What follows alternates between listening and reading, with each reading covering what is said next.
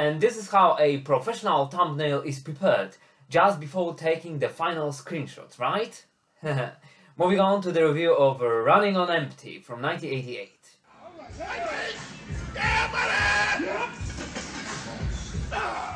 With Cher, Winona Ryder and Bob Hoskins. And there is a trio, uh, the mother and two daughters, who start dancing to If you wanna be happy for the rest of your life, never make a pretty woman your wife.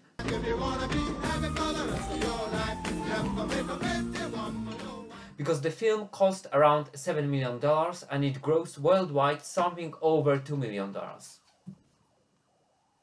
Stephen King's Cat's Eye. Hi there guys, I hope you're well. Welcome back to my channel called Blast and Past and this time around I have a film from 1988 and this is the motion picture called Running on Empty directed by the legendary Sidney Lumet and starring in one of the roles young River Phoenix. So probably for those uh, things alone it is worth revisiting or worth checking out if it's your first time with this motion picture. Generally it's a semi-true story a very realistic one and definitely it's a slice of life type of film. A drama very well acted very gripping uh, touching and emotional. Uh, I've seen it for the first time ever. I saw it one week ago and I was blown away. It is a long film but you can't feel it. When you are succumbed into the narrative time just keeps flying like hell. Without further ado as always, let's get ready for a quick ride, my short take on Running on Empty. River Phoenix. 20 years ago, his parents protested the Vietnam War. And here is the Polish edition of Running on Empty from 1988. And here is the front cover, here is the spine, and here's the back, and here's the disc. I can't say that it's mint condition because it leaves much to be desired. Generally it's a used item and apparently it was a part of some library because I can see some signatures, some markings on the cover, inside, so this is the, one of the indicators that it must have been a part of some library which rented uh, films to uh, their customers, to the clients. Uh, this is a great artifact, a blast from the past, isn't it? His whole life, he's been paying the price of their beliefs. Look what we're doing to these kids. They've been running their whole lives like criminals. Regarding this DVD release, although this format has its obvious limitations regarding the space, regarding the resolution, the colors, uh, the picture quality really delivers for this format. Having that in mind and taking this one into account, because I know that there is a Blu-ray version and if I'm not mistaken I may even have it, but I don't know where, so I've decided to uh, pop in this DVD release and I was more than pleased with the picture quality. The details are there, this is the full screen presentation, no margins, I love it, because it smells of the 80s. It's so typical. Running on Empty. Directed by Sidney Lumet. And this is what we get here. So we have the full screen, it's filled to the brim, and that's why you are immersed into the narrative even more. Like you were there, like you were a passive observer, just having a look into the intimate details of uh, their lives, the lives of the protagonists. So this is just another great film about this uh, otherwise still a very good motion picture. That even this mere DVD release, which is a quite a rare item right now on the market, is still worth picking up. What is this, some sort of smart-ass joke? You're taking cooking. I want to learn how to cook. This emotionally driven drama is about a couple, a married couple, uh, Annie and Arthur, uh, who uh, have been on the run for many many years. Because when they were younger, they planted a bomb, explosive material, in one of laboratories researching napalm for the Vietnam War, and it went awry. Apart from the explosion, uh, which is uh, bad enough, there was somebody maimed, uh, a janitor, who wasn't even supposed to have been in the building. That happened by accident, but unfortunately because of that, they were forced to run and they have two children. And the children also need to carry this burden on their shoulders, alas. You can't keep running away from something that you had nothing to do with. You deserve your own chance. Their beloved offsprings keep changing schools, uh, changing their environments, uh, together with their parents. Whenever the FBI or some other uh, authorities are on their back, then they need to change, then they need to move. uh, and it's always like living on a ticking time bomb. You never know when the time may come.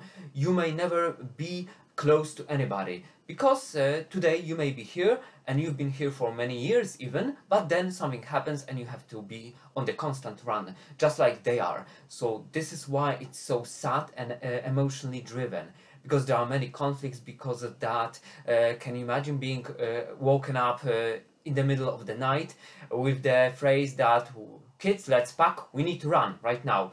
Pack only the most important things, but they know the protocol and they know what is going on, especially River Phoenix character, who is a very well written, uh, ambitious teenager who has a softer side to him because he loves music.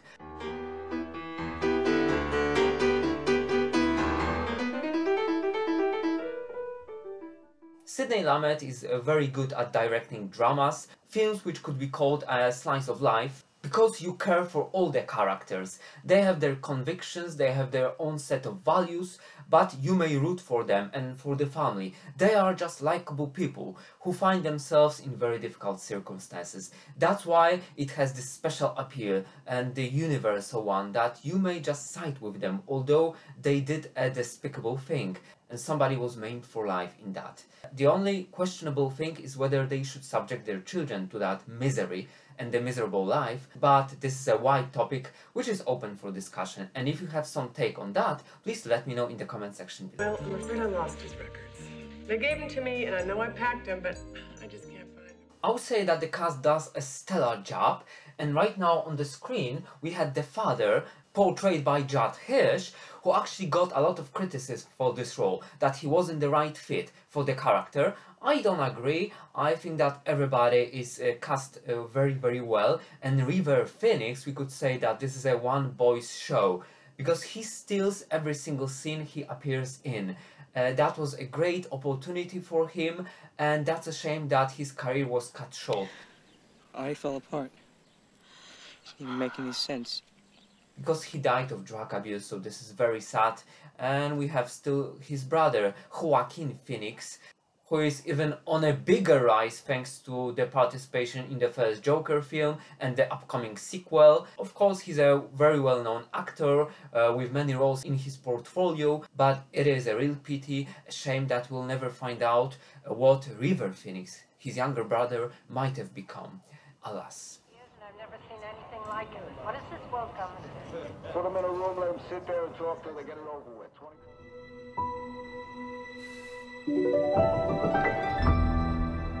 Albeit Running on Empty is a serious drama, it's not sappy and there are some brighter moments. There is a love relationship between uh, River Phoenix character and uh, his love interest whom he meets at school and he shares some secrets with her. But also there is a fantastic scene in which the whole family starts dancing to music. They start busting a move spontaneously and you can see that they enjoy it. And this is so well acted and this is a fantastic because you can see that even in the darkest of times in the gloomy moments there are always some bright rays of sunshine in our grim existence.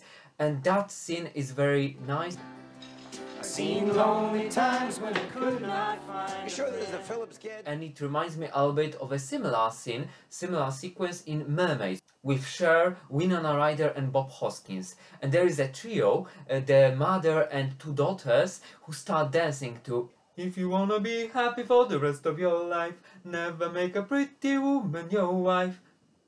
And this is great. I don't remember exactly the song which uh, plays in this one, and uh, they dance too, but this is uh, also fantastic. Seen lonely times when I could not find a friend. Here we also have some pieces of trivia on the film from IMDb, and here comes the first one about the softer side of the main protagonist, the boy played by River Phoenix. Although River Phoenix learned all the hand motions to the piano pieces his character performs in the movie, the audio was dubbed by a professional pianist. But it looks really realistic, if I may say so. The movements, I'm no professional piano player, I don't have any expertise in that, and no education on that, but it looks great on the screen, and you could believe it that actually it was River Phoenix playing the compositions on the piano.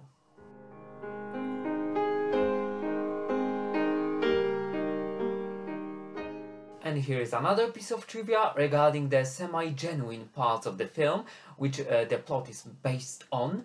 And here it goes. The bombing that the Popes had carried out is loosely based on the August the 24th, 1970 bombing of Sterling Hall on the University of Wisconsin campus in Madison, Wisconsin during the height of the Vietnam protest era in which a physics postdoctoral researcher named Robert Fassnacht was killed. Coincidentally, River Phoenix, so Danny Pope, the character, was born on August 23rd, 1970. There's No reason to think they're onto us yet, so stay calm. Judd Hirsch, Who are your parents, Ozzie and Harriet? And here's the last one. The film was number 10 on Roger Ebert's list of the best films of 1988. And in his review, he does praise it. Uh, he has nothing but good things to write about it. About the cast, about the characters, about River Phoenix, how gripping it is, and Sidney Lumet as a director and his work. And I can only agree with uh, his uh, praise for the film. I was wondering if Michael had ever mentioned anything to you about his old school. I'm a liar. My name isn't Michael.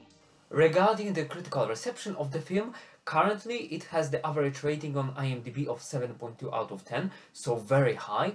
On Rotten Tomatoes that would be 81%, so also a very uh, notable score. And Roger Ebert named it also as one of the best films of the year 1988. However, financially it was a disaster. And Sidney Lumet was not very lucky with the box office because the film cost uh, around $7 million, but it grossed worldwide only something over $2 million. So that was a debacle, that was a financial fiasco, alas, but definitely the film is worth checking out. And right now nobody remembers about the numbers, but people do remember about his great masterpieces, his uh, works, his films, and this is definitely one of the films which may be considered even a must-see, especially if you are a fan of this prolific director. A story of love, loyalty, and letting go. Regarding Sidney Lumet, uh, this is incredible that in the 1970s, the 80s, the 90s, the early 2000s, he had so many great motion pictures, just to name a few, not in any particular order, there was Serpico, Anderson's Tapes, uh, The Morning After, Prince of the City, which I have reviewed. Treat Williams is Prince of the City. Find Me Guilty, it's a newer film, a little bit from the 2000s, and his final masterpiece that was Before the Devil Knows You're Dead. It's over. Don't take it out on my friends here. We're gonna go traveling. Nothing but the best is good enough. With uh, Philip Seymour Hoffman, the late Philip Seymour Hoffman, alas, and Ethan Hawke. This is a gripping drama, a thriller. There's two terminated employees from your department still drawing checks. Our future. We can do it. and it will keep you at the edge of your seat until the very last uh, minutes of the screening. Uh, highly recommended, although this is his newer work because like I said, I think it's from 2007, in the 2000s, still it is as good as his best motion pictures before. And this one, Why do you have to carry the burden of someone else's life? it may be a little bit obscure, it's not so well known, you don't associate it with Sidney Lumet immediately when you hear Running on Empty with River Phoenix, but trust me, it's a good pick. And with Sidney Lumet, you can almost never go wrong, that's for sure. Jane Fonda, Jeff Bridges, The Morning After, can be murder. Opens Thursday. Check newspapers for theaters. And here on the screen is River Phoenix playing quite convincingly the piano. Although uh, the voice, although the sounds, they were dubbed by a professional piano player, it looks very convincing, doesn't it? You have to admit. And River Phoenix, he shows such potential, so much talent it is, that it really is a shame that he left this world prematurely. He, maybe he passed away at the age of 23 or 5, and he could have been a great actor. I remember another film which has uh, many similarities actually with this one, with Running on Empty, and that was Little Nikita with uh, Sidney Poitier, the great Sidney Poitier. Columbia Pictures presents Sidney Poitier, River Phoenix, Little Nikita. And he also puts on another fantastic performance. So Hollywood might have had big hopes for him, but unfortunately life had different plans. And he is so handsome in here, so attractive. He has the charisma, the presence, the talent, like I've mentioned before, the acting chops. He had everything going on for him, but alas, the addiction to substances is eventually what uh, cut his life short.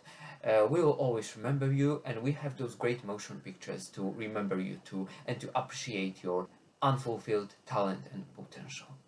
Rest in peace, River Phoenix. Well, we didn't watch entertainment shows. We didn't have the entertainment magazines in our house. As always, thank you very much for your attention guys. I hope that you liked my short take on Running on Empty, the film from 1988 directed by Sidney Lumet. If you have liked my review, please give the video the thumbs up. Please share your comments on my review, on the film itself, on the cast, on River Phoenix and his unfulfilled career uh, because it was cut short. And if you are not subscribed to this channel, maybe please consider subscribing to it. Maybe you could also recommend this video review to your friends and that would be it. Thank you very much for your attention and until next time. Cheers. Bye. But people do remember but, people do remember about Sidney Lumet. It is a pretty worn out used item. Mm, for me, it felt like it impeded on the mourning process, right?